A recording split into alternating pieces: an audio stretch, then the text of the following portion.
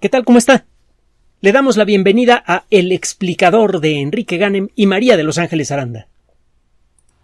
Probablemente usted ha escuchado por allí, en algún medio de información, que las vacunas están perdiendo efectividad contra las nuevas mutaciones y que esto ha sido publicado en una revista científica. Bueno, mire, sí y no. Vamos a ver.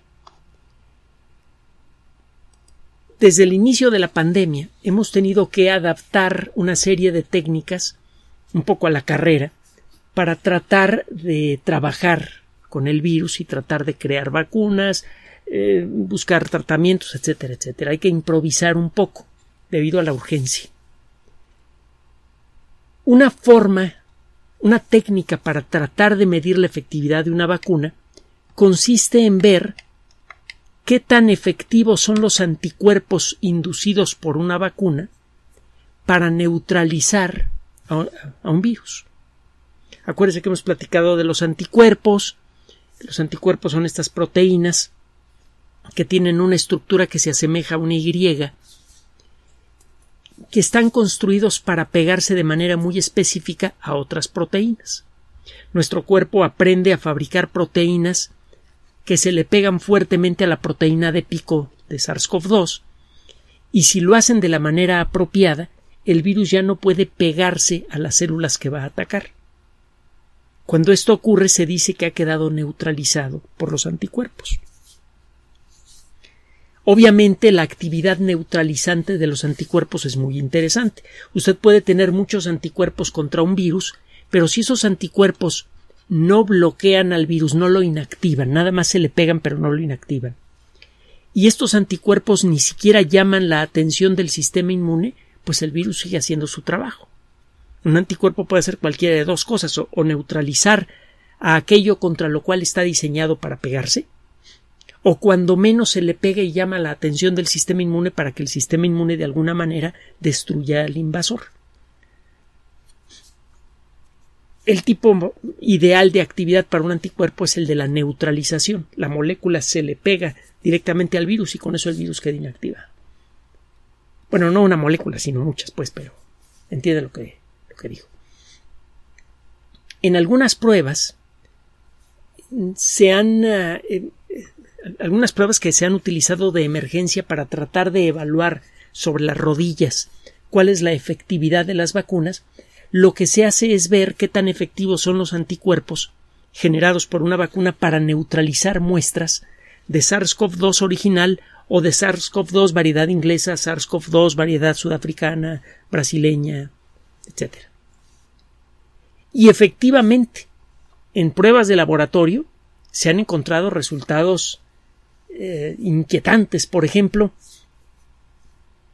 en eh, pruebas que se, se hicieron en animales se le pone la vacuna de Moderna a simios en distintas cantidades, pues, tienen varios, varios animalitos, se les inyectan distintas concentraciones de vacuna para ver eh, qué concentración de vacuna, qué cantidad de vacuna por kilo de, animalito produce una respuesta inmune fuerte. Y eh, se encuentra que sí, con una cierta dosis de vacuna los animalitos producen una gran cantidad de anticuerpos. Y luego se trata de ver qué tan efectivos son esos anticuerpos para neutralizar el virus. Y se encuentra que para el virus clásico la cantidad es eh, se hacen unos cálculos, etcétera, y dice mira la efectividad de los anticuerpos de esta vacuna que estamos probando en estos animales para neutralizar la variedad clásica de SARS-CoV-2 es de X. Y para la variedad sudafricana es 10 veces menor. híjole. El virus parece estar escapando a la vacuna. Porque las variantes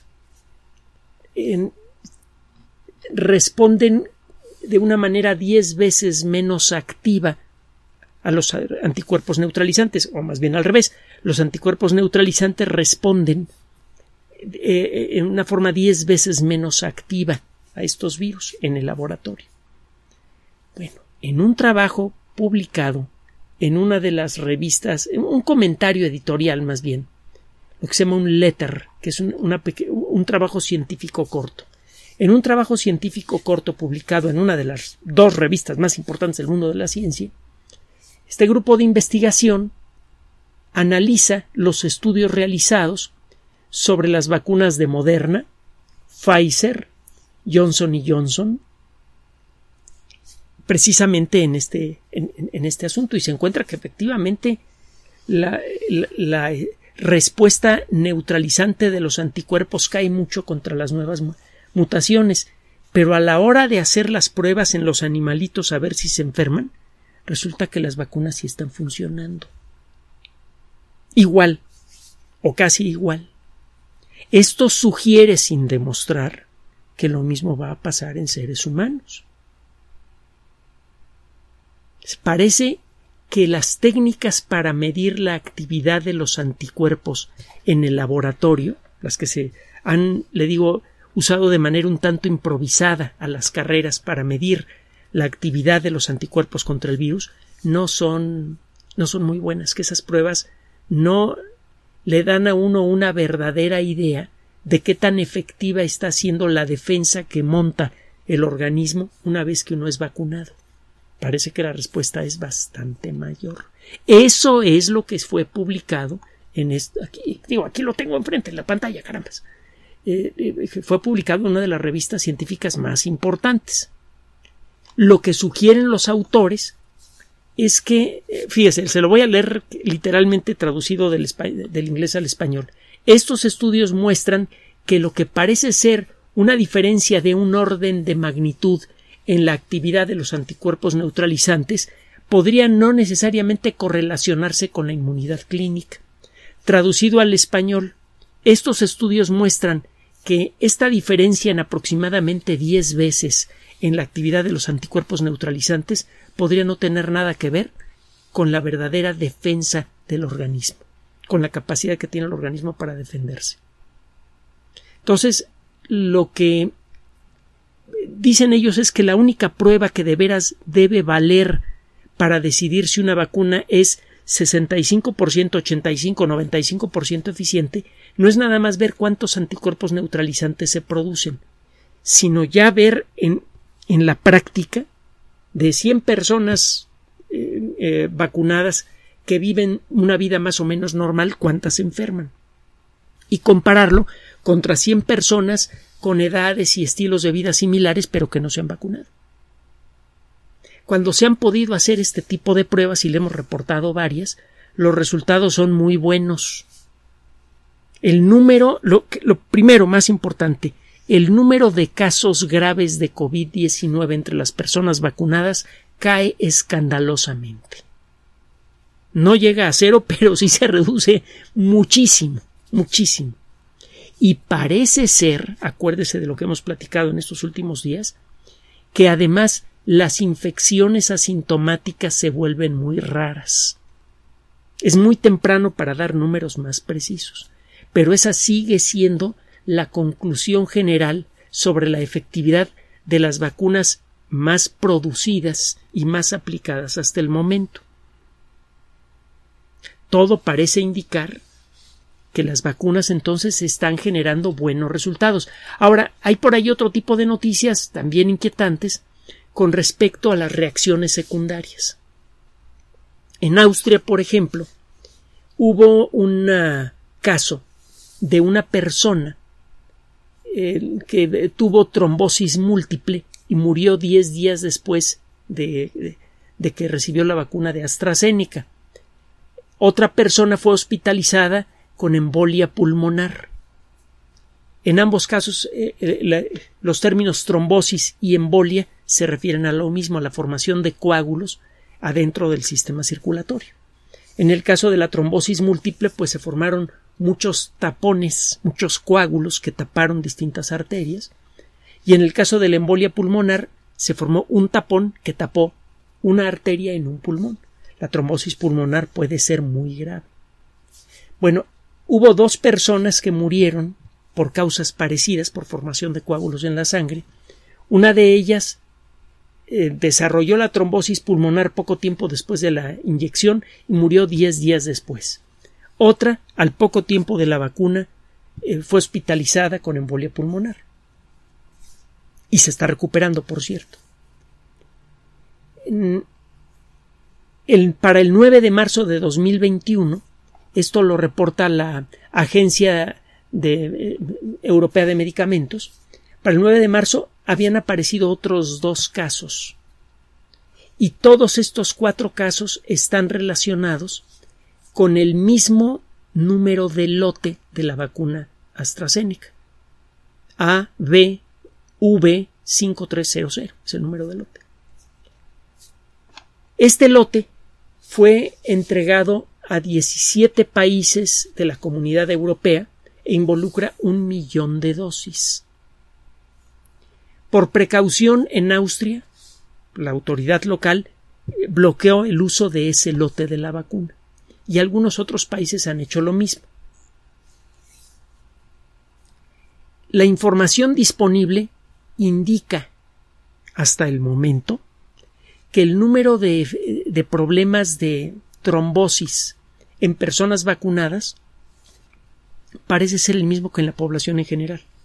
Desgraciadamente, los problemas de trombosis que pueden llegar a provocar un ataque cardíaco cuando se bloquea una de las arterias coronarias, un derrame cerebral cuando se tapa alguna arteria del cerebro y revienta, una embolia pulmonar, que puede producir algo parecido a un ataque cardíaco pero en el pulmón, o, cualquier otro caso de embolia, por ejemplo la flebitis cuando se tapa una arteria de, la pierna o una, o una vena. Este tipo de problemas desgraciadamente existen de una manera más o menos frecuente en la población en general. Simplemente piense que la principal causa de muerte en el mundo son las enfermedades circulatorias. Ataques al corazón, derrames cerebrales en donde los coágulos tienen un papel importante, un papel disparador muchas veces. Así que eh, el que hayan aparecido cuatro casos de embolia en personas que están recibiendo la vacuna no parece ser, de acuerdo con la Agencia Europea de Medicamentos, no parece ser algo fuera de lo normal, sobre todo si considera que se está vacunando primero a la gente mayor. Y la gente mayor con más facilidad tiene problemas de coágulos, por muchos motivos. Sedentarismo, mala alimentación, eh, tomar poca agua. Es un problema común en gente mayor.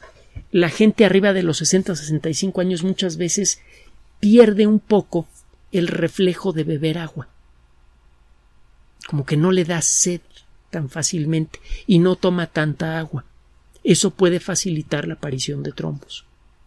Algunos alimentos, algunos desórdenes genéticos que se van acentuando con la edad, por muchos motivos diferentes, la gente de 60, 65 años y, y de allí para arriba tienen una mayor probabilidad de experimentar algún tipo de trombosis que podría desembocar en un derrame cerebral, en un ataque cardíaco o, o, en otros problemas. A la hora de hacer una primera comparación estadística entre el número de personas que han recibido la vacuna de AstraZeneca y un grupo de edad similar que no ha recibido la vacuna, se encuentra que la frecuencia de este tipo de problemas es más o menos la misma. Acuérdense que ya habíamos tratado este caso.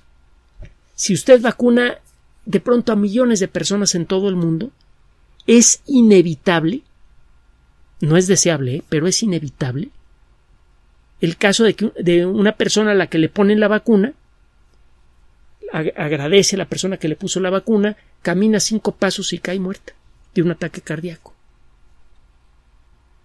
Eh, los ataques cardíacos son la principal causa de muerte en, todo, el mundo, de acuerdo con la Organización Mundial de la Salud.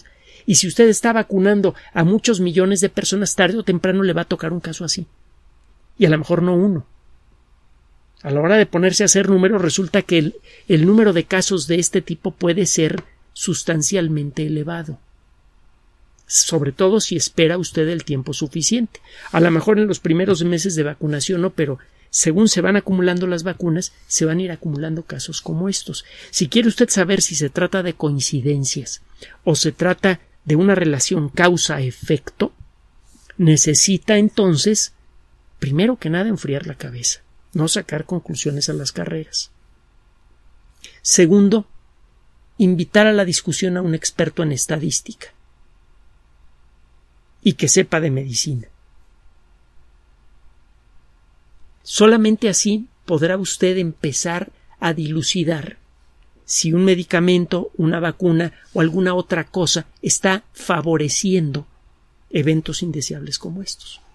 Entonces, si escuchó usted por allí que en Austria se, suspendió el uso de la vacuna AstraZeneca porque está causando trombos, no se vaya con la pinta. Se trata de una medida de precaución natural, normal, mecánica, ante un evento indeseable pero el análisis que ha hecho hasta el momento la Agencia Europea del Medicamento sugiere que no hay motivo para creer que la vacuna esté causando este problema. Y no hay motivo tampoco para creer que el lote esté en mal estado. Claro está, esto no se va a quedar así. No, no, no se va a quedar la cosa nada más en que eh, tal o cual persona dijo que la vacuna es segura y que se puede seguir aplicando. Se van a someter muestras de lote a pruebas en animales de laboratorio, análisis químicos avanzados para ver cuál es la composición exacta de los frasquitos, etcétera, para ver si efectivamente ese lote tuviera algún problema de producción, estuviera contaminado, qué sé yo.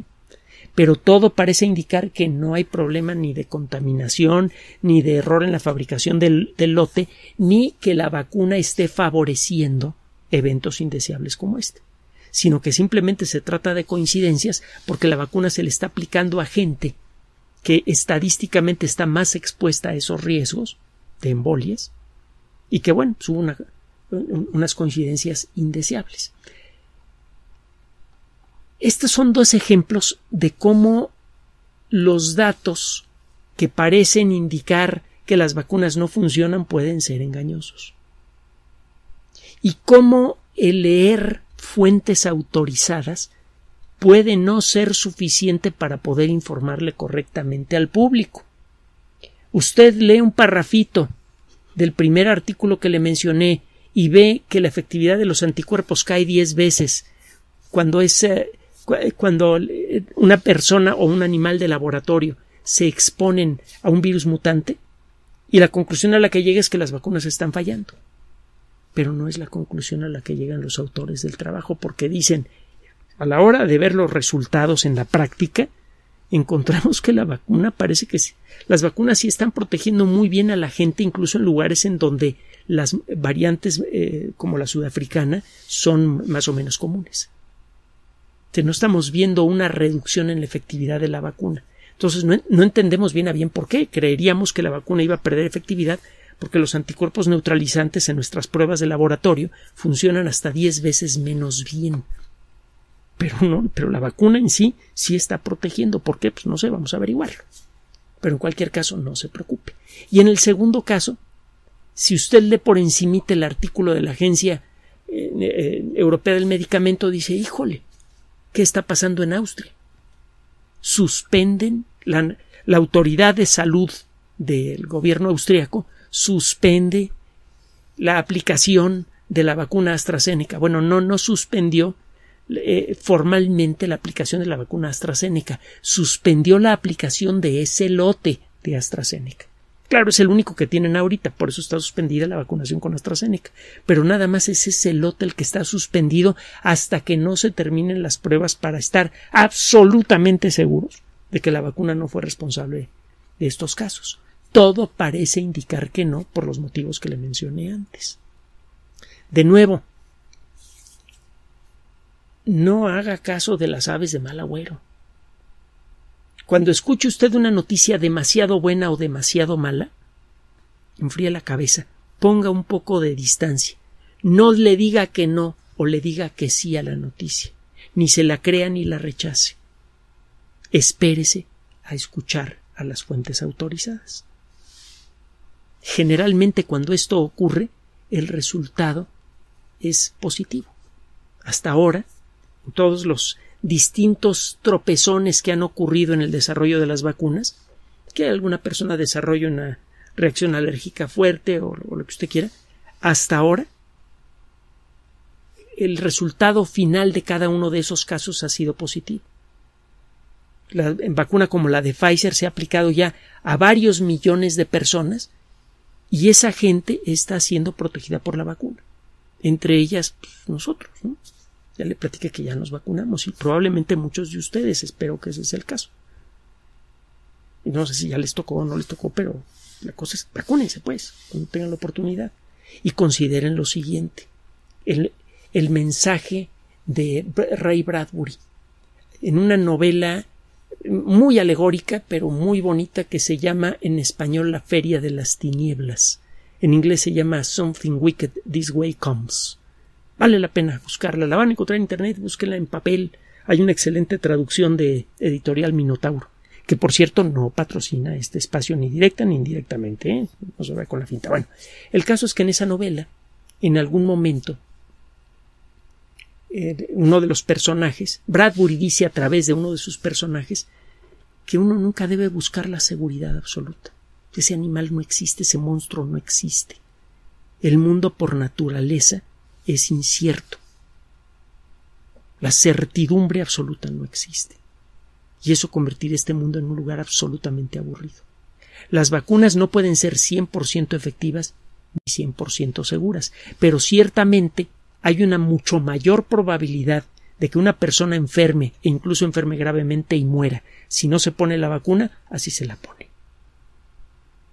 Considere usted esto, tome su propia decisión y en cualquier caso hágale caso a las autoridades de salud, use cuidadosamente la mascarilla facial, la sana distancia y mantenga la calma. Gracias por su atención. Además de este canal oficial en YouTube, tenemos nuestro sitio web www.lexplicador.net, las redes sociales de siempre, Twitter Enrique-Ganem, Facebook Enrique Ganem, sitio oficial. Recuerde que también por sugerencia suya tenemos abierto un espacio en Patreon, el explicador Enrique Ganem, y en PayPal, el explicador patrocinio arroba gmail.com, gracias a los cuales sostenemos este espacio. Finalmente, el explicador siempre somos María de Los Ángeles Aranda y Enrique Ganem. Gracias.